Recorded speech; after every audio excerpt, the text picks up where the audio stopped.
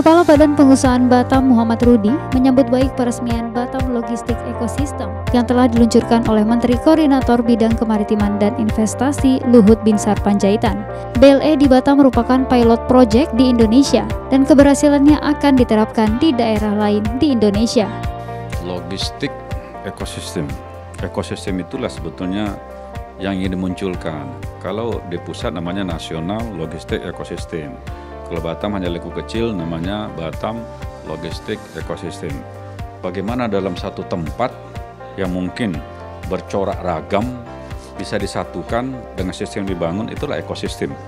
Jadi sistem berjalan dengan satu aplikasi yang siapkan pelabuhan, tapi semua bisa menyambung. Kalau saya sangat sepakat sekali dan memang itu tiga bulan lalu yang kita gaungkan melalui kita ke Pak Menko Maritim. Alhamdulillah kemarin sudah selesai. Tentu dalam pelaksanaan kita berharap tidak boleh lagi maaf ya ego sektoral, tapi sama-sama lah apa yang menjadi kendala itu harus kita selesaikan. Karena ini masih baru, mudah-mudahan tidak ada kendala. Tapi kalau ada kendala, saya sudah sampaikan Pak Nelson sebagai kepala pelabuhan, cepat didudukkan. Tak kelar, eh, tak selesai, tak duduk, cepat laporan ke atas. Saya kira karena yang baru, mungkin nanti ya, pasti mungkin ada kendala kecil-kecil lah. Tapi kendala ini tidak boleh jadi terbesar dan harus diselesaikan. Tim Humas melaporkan dari Batam.